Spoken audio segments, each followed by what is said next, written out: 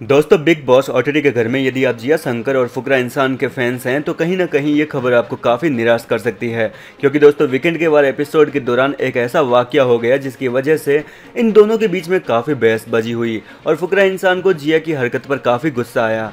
दरअसल सलमान खान ने घर वालों से ये पूछा था कि आप में से किस किस को पूजा जो है, पूजा भट्ट, वो खड़ूस लगती है और वो सबको इक्वल नहीं समझती। इस दौरान दोस्तों, केवल फुकरा इंसान और पलक ने ही हाथ उठाया था, लेकिन दोस्तों, जब घर के अंदर अक्सर आम दिनों में बातचीत होती है, तब आकांक्षा पूरी, जिया शंकर और आलिया भी पूजा भट्ट की बुराइयाँ करते रहते हैं और उनके बारे में उल्टी सीधी बातचीत करते रहते हैं और फुकरा के साथ सहमति जताते हैं। लेकिन जब सलमान सर ने पूछा तो उस दौरान डर के मारे किसी का हाथ खड़ा नहीं हुआ पलक के अलावा।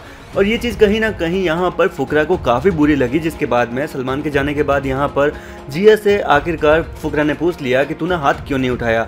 जिसके बाद में जिया अपने बयानों से पलट गई और कहा कि मुझे नहीं पता, मेरे साथ तो अभी तक वो अच्छा बर्ताव करती है। पूरी तरीके से हमारा व्यवहार खत्म नहीं हुआ है। और दोस्तों, फुकरा इंसान को जिया का ये जवाब काफ़ी बुरा लगा, जिसके बाद में फुकरा इंसान यहाँ पर जिया से नाराज़ हो गए। अब देखना दिलचस्प होगा कि क्या यहाँ पर फुकरा इंसान जिया वगैरह का साथ छोड़ देते हैं या फिर जिया फुकरा इंसान को मना लेगी। आपको क्या लगता है यहाँ पर कौन सा ही कौन गलत है? अपनी राय कमेंट में ज़रूर बताएँ। यदि आप भी फुकरा इंसान के फैंस हैं तो वीडियो को लाइक ज़रूर करें।